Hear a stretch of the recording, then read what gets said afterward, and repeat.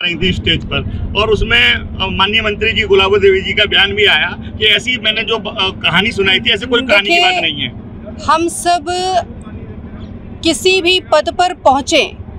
पद पर पहुँचने के साथ साथ मानव हैं और मानव जाति है तो स्वाभाविक तौर पर कभी कभी भावुक पल आता है और खासकर हम सब महिलाएँ हैं तो महिलाएँ तो और भी भावुक होती हैं। वो किसी भी पद पर पहुँच जाए। तो वो भावनात्मक भावनात्मक स्थिति पैदा होना कोई बड़ी बात नहीं है हम महिलाओं के लिए। नहीं आपका तो बयान कल ये था ना रामायण के उन्होंने कोई कहानी सुनाई थी इस वजह से भावुक हुए थे और उन्होंने उसका आ, किया। निश्चित निश्चित तौर पर राजा दशरथ के एक आ, चरित्र का एक वर्णन उन्होंने किया था। और उसी से भावनात्मक स्थिति ऐसी पैदा हुई जिसके वजह से आँखें नम हुई।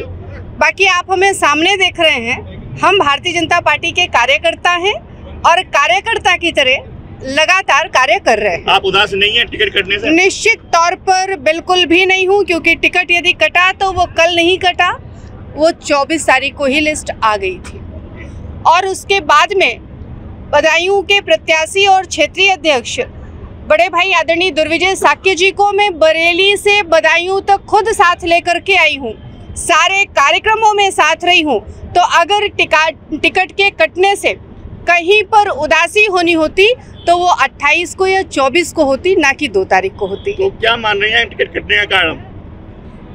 पार्टी ने निश्चित तौर पर कुछ अच्छा सोच रखा होगा क्योंकि हम हमेशा सकारात्मक रहते हैं और उसी पर विश्वास करते हैं। कहीं कुछ अच्छा पार्टी ने और हमारे शुभचिंतकों के द्वारा कुछ होना होगा तो हम उसका अ, स्वागत करेंगे। बहन जी एक और जो स्वामी प्रसाद मौर्य जी ने अपनी पार्टी बनाई है उसके बारे में क्या कहेंगे? देखिए पार्टी पिताजी की है उसके बारे में विस्तार से हमें लगता है उन्हीं से जानकारी आप ले सकते हैं। बोल रहे हैं? बिल्कुल नहीं मैं भारतीय जनता पार्टी की कार्यकर्ता हूँ मैं भारतीय जनता पार्टी के लिए कार्य कर रही हूँ और हमारे कार्यों का परिणाम। आज नहीं तो कल हमें ज़रूर मिलेगा।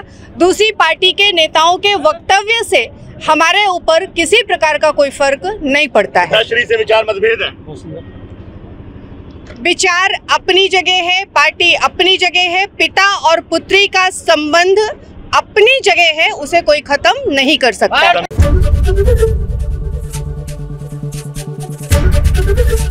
एबीपी गंगा। खबर आपकी जुबा आपकी।